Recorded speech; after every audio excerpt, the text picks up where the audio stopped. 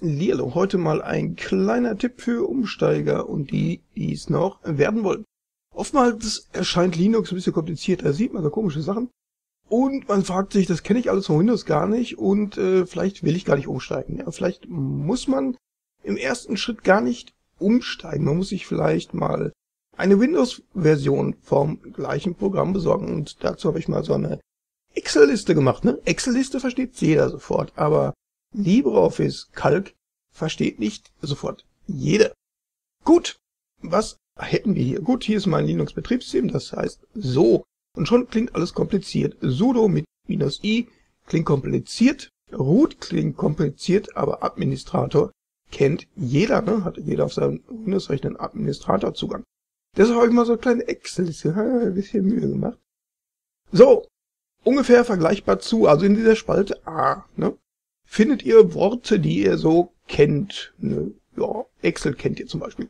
Aber dass ich hier gerade gar nicht Excel benutze, sondern LibreOffice Calc und dass da eine Datei namens alternativen.xls mit geöffnet ist, das weiß vielleicht nicht jeder oder Word kennt wahrscheinlich jeder, aber LibreOffice weiter nicht, obwohl es das auch für Windows gibt. Ne?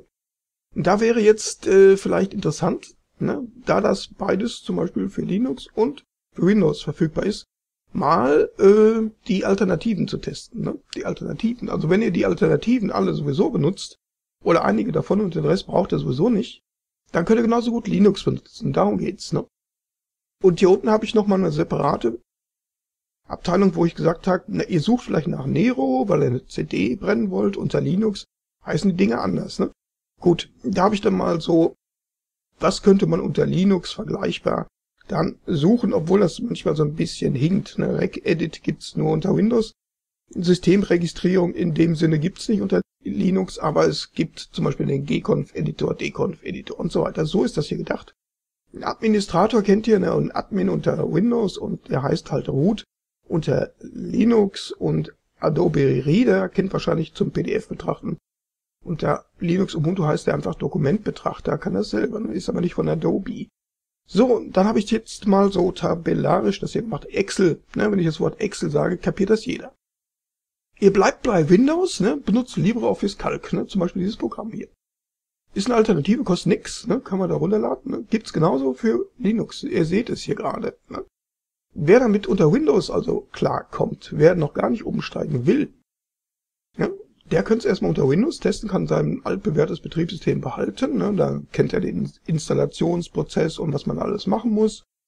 Kommt mit diesem Programm wunderbar zurecht, gewöhnt sich dran und sagt dann, mehr brauche ich eigentlich gar nicht. Ne? Und wenn es das unter Linux gibt, weil Linux kostet ja gar nichts, das ganze Betriebssystem nichts, dann benutze ich halt unter Linux. Also die Download-Links, ne? die Programme kosten alle nichts. Die sind hier mal gelistet. Ne? Wenn ihr zum Beispiel nach Winamp sucht, ne? bekannter Audioplayer, ne, Musik hören, ne, MP3s hören. Winamp kennt, kennen viele, ne, gut, Audacious kennt vielleicht nicht viele, obwohl das auch ein Winamp-Thema hat. Das Programm sieht genauso aus wie Winamp, wenn man es entsprechend einstellt, habe ich schon mal gezeigt. Gibt's auch unter Linux, ne? Was jetzt zuerst da war, die Windows-Version oder die Linux-Version, das ist uns eigentlich egal. Ne? Manche sagen, oh, das ist jetzt doch ganz wichtig. Zuerst war es unter Linux und dann hat man es unter Windows nochmal kompiliert. Gut, Linux sind ja Programme, die sind zumeist alle Open Source, es sei denn, es ist eigentlich ein, ja, ein Windows-Programm, das man nur auf Linux portiert hat. Ne? Das läuft hier unter Wine, das Skype für Linux. Gibt's auch, ne? Da habe ich mal geschrieben.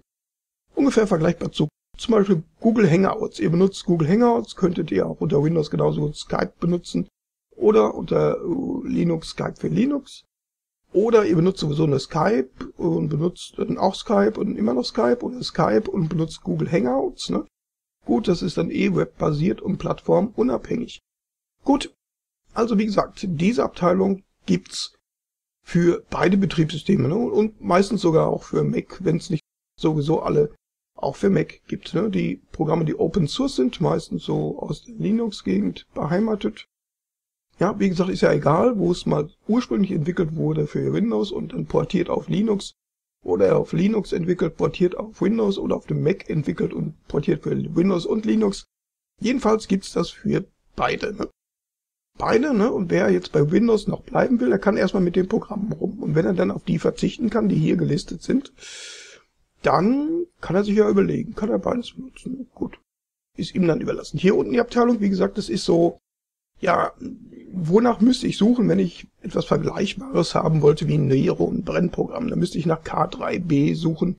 Hier unter Linux, Ubuntu oder Brasero zum Beispiel. Und es gibt noch viele, viele, viele andere mehr. Ne? Also dann gibt's diese Programme teilweise nicht für Windows, weil das halt einfach plattformspezifisch ist für Linux. Zum Beispiel gibt's unter Windows eine Command Comp oder Command, ja, CMD. Kennt ihr vielleicht, ne, dass ihr da mal was eingeben könnt und eintippen könnt in so einer Art Konsole oder Terminal. Und bei Linux heißt das halt GNOME Terminal, zum Beispiel hier unter Linux Ubuntu oder Konsole und so weiter. Die Liste vielleicht mal ausdrucken. Ich mache jetzt keinen Download-Link. Da könnte ich zwar auf Ubuntu One hochladen. Ich habe einen Ubuntu One-Account. Aber ihr haltet das Video am besten mal an, macht einen Screenshot mit der Taste Druck, Druck. Ne? Und gut ist das. Ich hoffe, ihr habt geholfen zu haben. Verbleibe mit freundlichen Grüßen und tschüss. Druck.